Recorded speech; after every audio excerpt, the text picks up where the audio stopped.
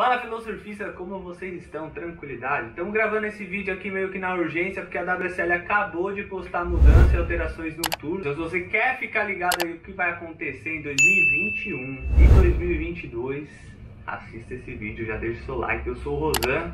Eu sou o Vitor e a gente não tá aqui no nosso cenário, nem no estúdio, estamos nessa correria, como o Rô falou, meio na urgência, porque, mano, a gente tá em Santos nesse momento. A gente veio gravar um vlog de surf, tá ligado? E começar essa experiência com vocês. Então, mano, aí o bagulho saiu e já vamos aqui trocar essa ideia, fechou? Tamo junto. Killian.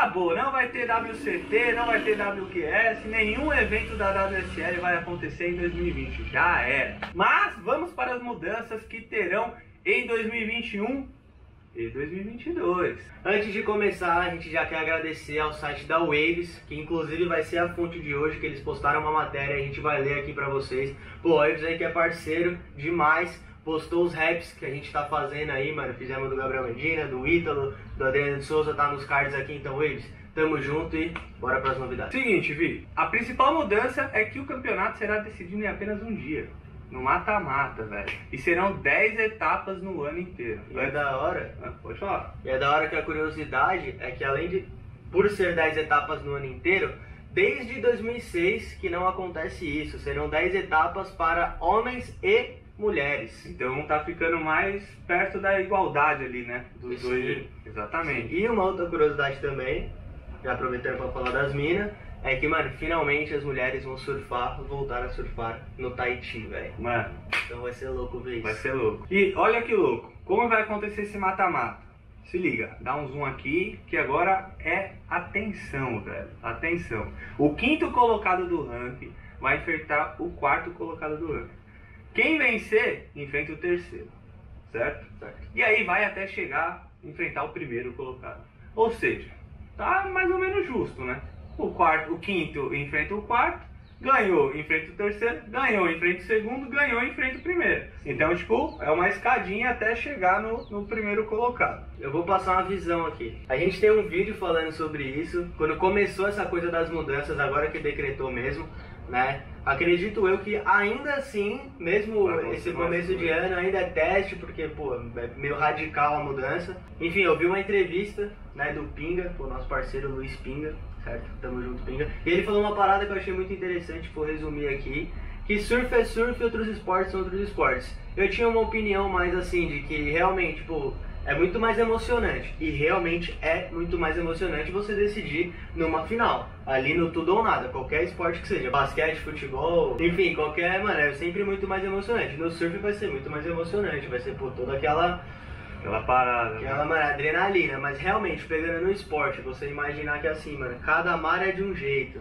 Então, pô, o cara surfa ali, mano, numa onda pequena, depois surfa numa onda grande, depois uma onda arrastada, depois uma onda com tubo, depois uma piscina que não tem nada a ver. Tá, tá, tá. Pô, o cara, mano, se mantém ali o ano inteiro. Aí chega, mano, no último dia, nesse Finals Day, né? The Finals, né? Uhum. E, pô, é o maluco quando tá bem, mano. É, aumenta a possibilidade de dar uma zebra, né? Então, exatamente, porque assim, nos outros esportes você pega quadra, você pega campo, você pega, pô, é a mesma coisa, então o cara replica aquilo no ano inteiro. No surf não, né? Mas aí tem o dia ruim do cara que tá jogando. Não, o cara não tá no bom dia. Não, também tem um dia ruim, exatamente. Não é, é, Por isso que eu tô falando. Entendeu? É, no mar ele dá mais uma chance, né? Porque além do cara não tá no bom dia, ainda tem o mar não tá no bom dia também. Então tem muita coisa. Então o cara ali que mantém uma constância no ano inteiro, Pô, eu achei interessante essa visão dele, compactou dessa visão, mas em questão de emoção, em questão do esporte, em questão, mano, visando realmente, assim, o crescimento, porque aí todo mundo vai saber o dia que vai ser das finais, né? É, vai ter uma né? janela de nove dias na última etapa. Que, inclusive, ainda não saiu, né? Não tem local definido. Ainda não tem local definido. Mano, a etapa que era mais, que era não, que é mais importante, eu acho, para todo surfista, né? A tradição, né? Tradicional, tradicional é o Pipe Master. E eles estão trazendo o Pipe Master para ser a primeira etapa. A gente é acostumado com o Pipe Master lá para decidir a parada. E agora vai ser a primeira etapa do campeonato. O que, você acha disso, mano? Então, eu acho da hora, tá ligado? Apesar de, como o Rô falou, né? A gente tá acostumado ali, porque, pô, durante o tempo inteiro sempre foi, né? Pô, será que o cara vai ser campeão mundial e campeão do Pipe Master? Pô, a parada no Havaí, onde tudo começou, finalizava o campeonato, agora vai começar onde tudo começou na história, então realmente vai ser da hora, mas pelo que a gente escuta dos surfistas que né, tem a oportunidade de surfar em pipe, falam que é interessante, porque ali dezembro, janeiro, o swell tá absurdo Tá lá, né, mano? fogo, Então pode ser que seja mais da hora. Sim. E o louco, Hum. só uma, uma- uma curiosidade, uma curiosidade não, um fato, né? É que mesmo não tendo campeonato, não tendo WCT em 2020, há a possibilidade do Tour 2021 começar por pipe em dezembro de 2020. Exatamente. Então não vai valer pro Exatamente. Tour 2020. Acabou, ninguém vai ser campeão de 2020. 2020 já era. Sou eu, Já foi. campeão de 2020 do CT. Vitor, campeão de 2020.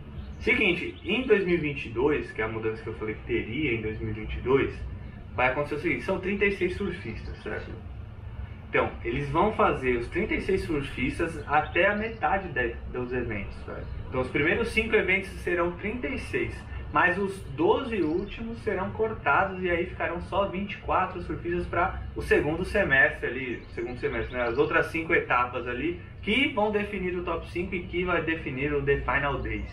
The Final Days. E é isso que tá rolando ali de como eles vão gerar tudo isso, porque tem todo o lance de quem tá no CT e cai, né, teoricamente para o QS, quem tá no QS e sobe pro CT. Então, É, eu achei Uma coisa que puxa não outra falaram ali, sobre né? isso, se vai mudar, se não vai, então o que, que Ainda vai cair sabemos. 12, vai subir 12, o que, que vai acontecer. exatamente. Então eu acho que vai. Águas vão rolar aí, né? E é muito louco, porque como a gente estava comentando, tem alguns surfistas que são, se dão muito bem da metade do ano pra frente. Pra frente, é. Tem outros que se dão melhor no começo. Agora é o seguinte, meu irmão. Tem que irmã, começar arregaçando. Meu irmão e minha irmã, você vai ter que surfar bem em todas, mano. Todas. Bom, eu vou dar minha opinião aqui. Por favor. Brasil quer a sua opinião, mano. Eu gostei, velho.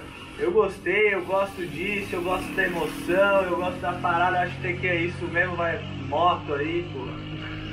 Eu acho que tem que mudar mesmo, eu curto mudança, então, porra, velho, eu tô felizão que mudou. Você quer jogo, né? Você quer Mano, eu curto o jogo, eu curto o jogo. Eu acho que lifestyle deixa pra gente que não compete, né, velho? Quem compete tem que ser sangue nos olhos e tem que querer ganhar essa parada. E digo mais! Toledo é campeão de 2021. Agora a sua opinião, Gui. Você já deixou sua opinião clara lá, né? Já deixei. Já deixei. Mas também concordo com essa parada aí. Eu acho que abre margem. Vamos, vamos lá. Mais Eu quero sensato ver. agora. Não, não, eu vou falar. Sem então. emoção. Não, eu vou falar. Não, Fala. você falou, me deixa falar agora. Agora fala então. Vou falar. Eu quero ver, velho. Eu tô curioso. Eu tô curioso. Eu não tenho, eu não tenho responsabilidade aqui com a. com a Exatamente. Então eu tô, eu tô curioso. Eu sou fã de surf, mano. Tá É. ligado? Pô, trampa com surf. A gente trampa com surf. Temos aqui um canal. A Sim. gente pô, gosta de se comunicar com você que tá assistindo a gente. Queremos agradecer a você que já é inscrito no canal. Exato. Né? Pô, estamos muito felizes que todo dia sobe inscrito. Horas dia. assistidas. Pô, você que isso é tira muito mano, importante. seu. Ô, você é tira um tempo do seu dia pra assistir esses dois aqui, falando groselhas de vez em quando. É, então. Mas estamos muito felizes, Muito. esperamos fazer muito mais conteúdo pra vocês. E se a nossa opinião vale de alguma coisa, né? A WSL e a WSL, se estiver ouvindo a gente, é isso. É isso que a gente acha. É, agora sim, só pra acabar com a minha opinião mesmo. Beleza, é porque não acabou. Não, não dei. Eu cortei. É só isso, mano. Eu sou fã de surf. Quero ver os caras, quero ver as minas surfando, serem felizes, se É divertindo, ganhando muito dinheiro, fazendo bem. É isso, mano. E tudo isso é isso, né, velho? É isso, né? Realmente o que importa é a felicidade de fazer o que ama, né? Se, se, se existe o campeonato de surf para que isso possa acontecer, estamos felizes. As mudanças a gente acredita que sempre é para melhor? Aham. Então, se não for, que eles voltem atrás e a gente segue a vida acompanhando e feliz. Demorou? Como, como muitos homens, como muitas mulheres, atletas, né, nos inspiram, que eles continuem fazendo o trabalho deles e inspirando, Exatamente. Inspirando milhões e milhões, milhares de pessoas. independente de como vai ser o formato, não vai, mano, inspirem, inspirem. Inspire e expire inscrição aqui pra gente, rapaziada. Deixa o seu like e compartilhe com seus amigos. Tamo junto. Valeu.